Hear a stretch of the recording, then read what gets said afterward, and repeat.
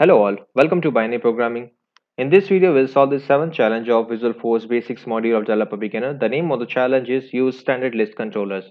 So let's move to the challenge. So in this challenge, we need to create a Visualforce page which shows a list of accounts linked to the record pages. So the page should be named as the account list. We need to use the account as a standard controllers. We need to have a record set variable and a couple of components also like apex repeat, li tag of HTML, and apex output link component. So let's move to the org and create this visualforce page. So in the org we are going to the developer console. And in the developer console we are going to the files and creating the visual force page.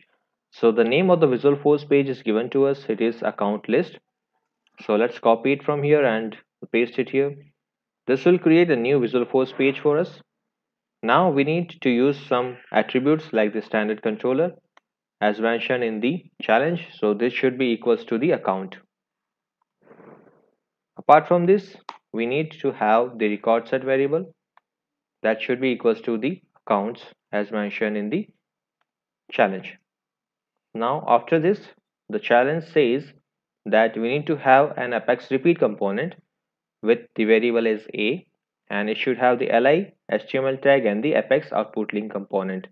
So let's create the apex repeat component first.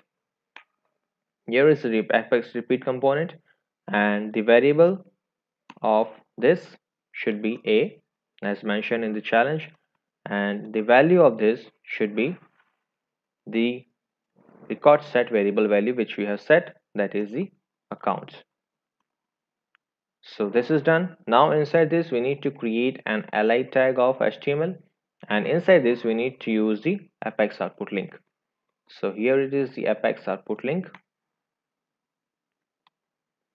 And inside the apex output link we need to create a link to the record.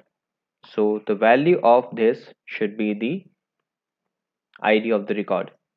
So here it is a dot id and in the hint section if you see in the challenge it is mentioned that the record details pages can be reached by placing a record id at the root of the url so we need to make this thing as the url so this should be the url type and this is the expression for this. On clicking on this link something should get displayed. So let's say the name of this account should get displayed. So we are going to use the output text component here and inside this output text component we need to show the value as in the form of expression.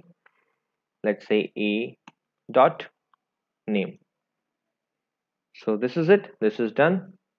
Let's reiterate what we have done in this visualforce page. We have referred this page to the standard controller called account. We have set a record set variable that is the accounts an apex repeat component we have used with the variables as a and inside that we are using the li tag of html and an output link to access this record. And this output link we are showing the name of the account in the form of the output text. So this is done. Let's move to the challenge and see whether we have done it correct or not. So yes we have completed the challenge and got 500 points for this. See you guys in the next video with a new challenge. Thank you